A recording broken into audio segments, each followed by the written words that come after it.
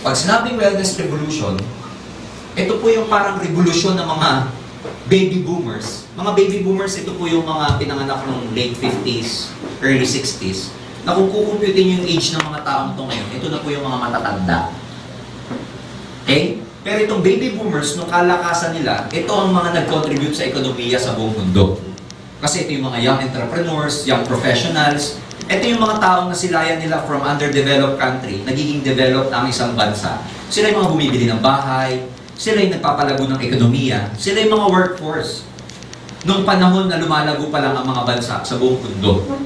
Unfortunately, right now, most countries already developed. Ito mga baby boomers na nagpalaki ng mga bat ng mga bansang ito because they are the workforce. Sila yung mga bata ng mga panahon na yun. Ngayong mga panahon na to, sila na yung mga pa-retired. And dahil pa-retire na itong mga to, syempre nakabili ng bahay, nakaipon ng konti, ito yung mga taong kahit paano may masasabing pera. Kaya lang, dahil syempre maganda yung buhay nila, these people would want to prolong their lives. Gusto nilang pahabain pa ang buhay nila. Kaya yun ang tinatawag na wellness revolution kasi itong mga taong to, gagastusin lahat, mabuhay lang ng matagal. Nagets nyo siya? Yes! Kaya magdidictate ng ekonomiya in terms of consumption and spending ay yung mga baby boomers. Ito yung mga yon. So, nang bibili ng mga to? Bibili to ng mga wellness products.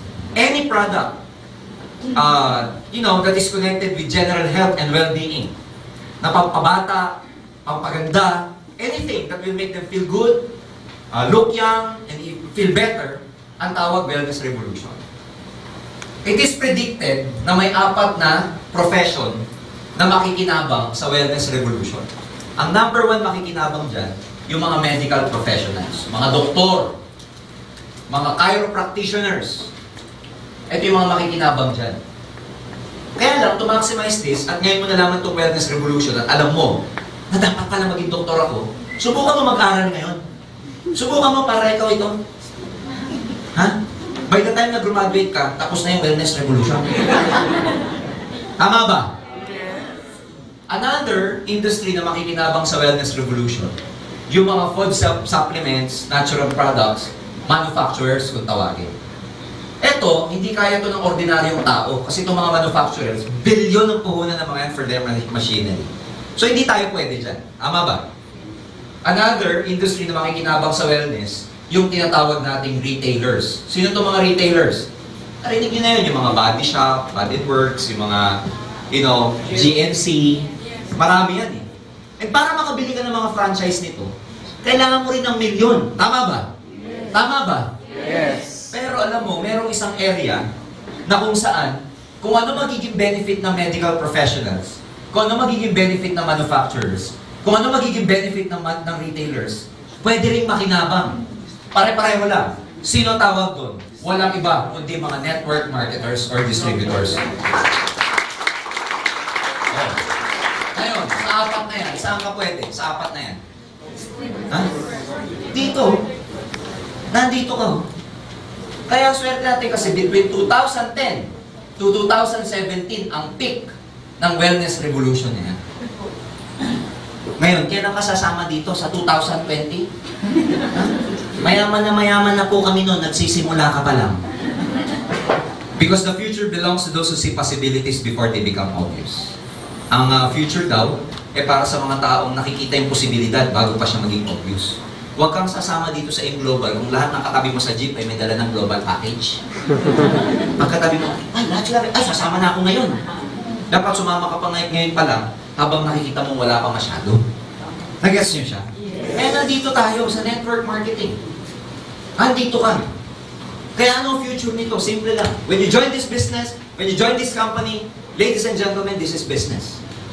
And you know and I, you know, and I know for a fact, that the first step towards financial freedom is becoming your own boss. Bago ka maging mayaman, you have to be in business. You have to become a boss of your own. And lo- as long as you are working for someone else, as long as you are uh, beholden for someone else. I'm sorry to tell you, empleyado rin po ako before, but this really, you know, changed my life nung narinig ko at na-realize ko. As long as you're working for someone else, as long as you are beholden to someone else, you will never become financially free. And dapat tanggapin mo yan kasi pag hindi mo tinanggap yan, you will not break free. Kung hanggang ngayon, naniniwala kayo sa pagmamahal mo sa boss mo, ha? sa kumpanya mo, nayayaman ka, I'm sorry to tell you, kailangan basagin mo yung belief na yan. That's the only way you can become free, by knowing the truth. Ang katotohanan, mga kaibigan, pag ikaw nagtatrabaho para sa ibang tao, yung ibang tao yun ang yumayaman, hindi ikaw. And whether you like it or not, you are just a commodity. Kasi pagdating ng araw na matanda na tayo at wala nang pakinabang, papalitan lang po tayo. And you have to accept that. Pag hindi mo tinanggap yan, mananatili ka dun sa poor people's thinking. And if you remain in that poor people's thinking, you will never become wealthy. In life, marami kang mga choices na gagawin na para sa sarili mo mabigat. Kasi matagal nang naka-instill sa'yo yung mga belief na yan eh. Wala pa tong mga to, matagal na tayo na-train para tayo nalagyan ng microchip dito. Na hirap tanggalin. Ano yung mga microchip na yun? Yung maririnig mo, di ba? Mag-aral ka mabuti para magkaroon ng magandang trabaho. Trabaho, trabaho, trabaho, trabaho, trabaho, trabaho. Kaya pag may nakita negosyo, wala yan. Trabaho, trabaho, trabaho, trabaho. Tama nyo? Ang pagkakadesign ng utak, 12 mil ang sweldo. Ito ang tama. Tama ba? Pag nakakita yung utak mo ng 50 mil, ito ang hindi tama. Ito ang totoo. Ito ang hindi totoo to. Pag nakaten ng seminar na ang kitaan half million, ano sasabihin? Drug lord. Drug lord yan. Pero dun sa 15,000 na kita, yan, totoo yan. Totoo yan, ha? Totoo yan. Kasalanan mo ba yun? Hindi. We were built that way. Ganun ang pagkakadesign sa atin eh. Yun kasi yung naging laman ng utak. I was reading a, a book a, a while ago, you know. Ang belief level natin maraming impact. Isa doon, environment mo, upbringing mo, genetics mo, yung tiwala mo. Ang dami, there are about eight. Uh, in the future, I will be training this in AIM.